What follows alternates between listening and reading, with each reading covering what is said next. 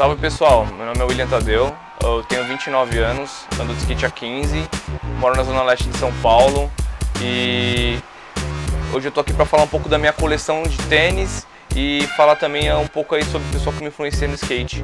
Já foi bem usado, pessoal. Esse aqui é o Paul Rodrigues 1. Quando lançou os Dunks SB, eu fiquei desesperado. É o, é o Lance Mountain, foi desenvolvido a Nike parceria com o Lance Mountain, Mike Carroll. Esse aqui é o Mike Carroll 4.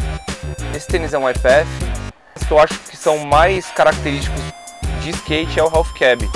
Alguns estilos até são imitáveis, mas o do, o do Stefan Janowski, infelizmente, ninguém consegue imitar, mano. E ele executou muita manobra legal, assim, era um cara que eu me inspirava muito quando eu ia andar de skate.